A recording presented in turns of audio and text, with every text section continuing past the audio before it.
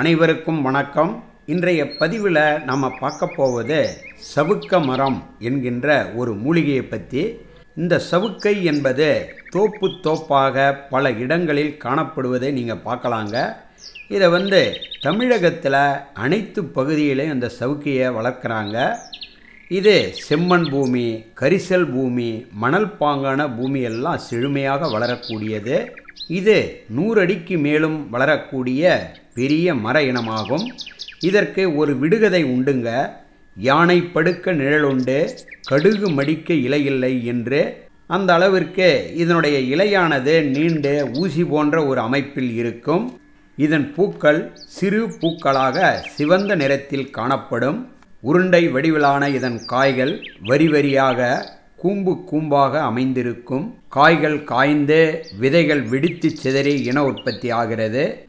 இந்த சவுக்க மரத்தை கொண்டு பேப்பர் தயாரிப்பது வீடு கட்டுவது எரிபொருளாக பயன்படுத்துவது இது போன்ற பல வேலைக்கெல்லாம் பயன்படுத்துகிறாங்க பெரும்பாலும் கிராமத்தில் இருக்கக்கூடிய மக்கள் வந்து சமையலுக்கு விறகாக பயன்படுத்துவாங்க.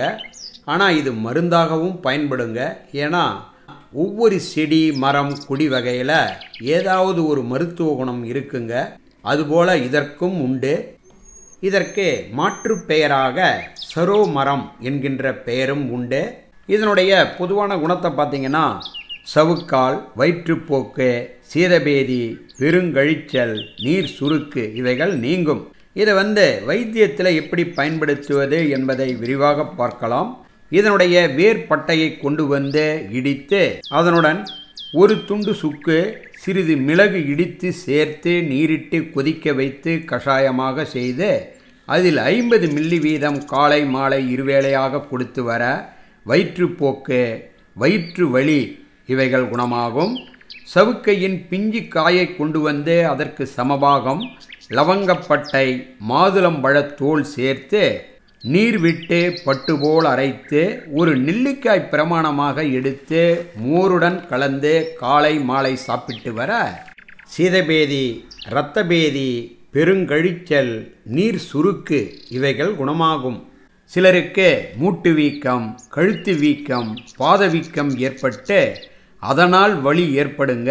இது போன்ற ஒரு நிலையில் சவுக்கையின் வேர்பட்டை வேப்பன் இலை வேலிப்பருத்தி இலை இவை மூன்றையும் சமபாகமாக எடுத்து அதனுடன் சிறிது மஞ்சள் சேர்த்து பட்டுபோல் அரைத்து வீக்கம் உள்ள அனைத்து இடங்களிலும் தடவி வர வீக்கங்கள் வாடி வலியும் குறையும்.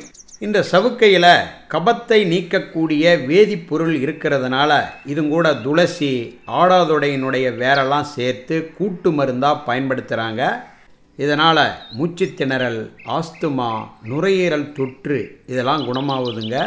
இது போன்று பல நன்மைகள் இந்த சவுக்க மரத்தில் உண்டு. இந்த வீடியோ உங்களுக்கு பயனுள்ளதாக இருந்தால் லைக் பண்ணுங்கள் கமெண்ட்ஸ் பண்ணுங்கள் சப்ஸ்கிரைப் பண்ணுங்கள் ஷேர் பண்ணுங்கள் நன்றி வணக்கம்.